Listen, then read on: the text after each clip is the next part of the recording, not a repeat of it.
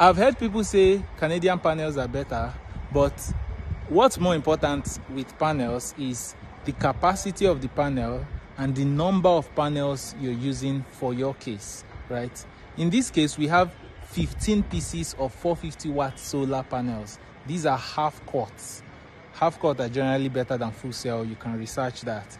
15 pieces of 450 watt solar panels is necessary for this client because they have a 15 kilowatt lithium ion battery to fuel at the end of the day.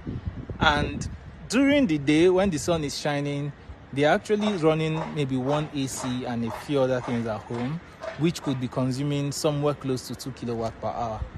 So, when it comes to what you need, you should be talking to um, a professional. Talk with someone who actually knows what they are doing.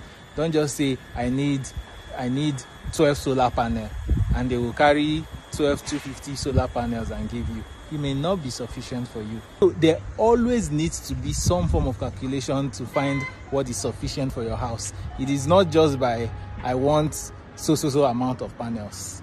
There has to be some calculation of your load during the day and your load at night.